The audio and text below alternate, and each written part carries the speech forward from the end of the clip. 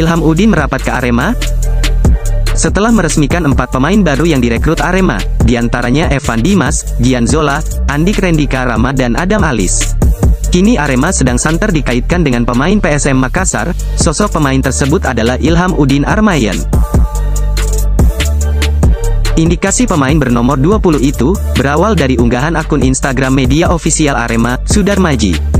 Sudarmaji memberikan sebuah kode di mana ia sedang jalan-jalan di kota Makassar, bahkan dalam unggahan tersebut Sudarmaji menuliskan kata kode.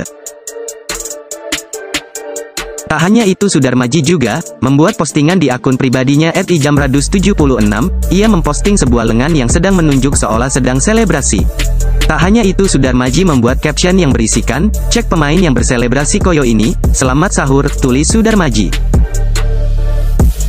Nampaknya selebrasi yang digambarkan oleh media officer Arema itu adalah pemain Makassar, Ilham Udin Armayan, rencananya pemain baru Arema akan diresmikan pada hari Kamin nanti.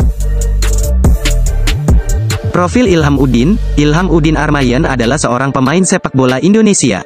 Saat ini, ia bermain di klub PSM Makassar. Ilham Udin Armayan adalah remaja asal Maluku Utara, lahir di Desa Lele, Kabupaten Halmahera Selatan, Maluku Utara.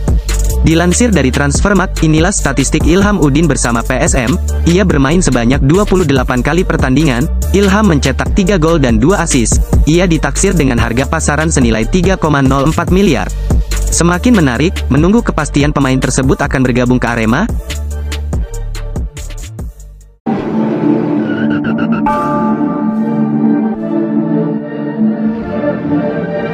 This is Raven Beats.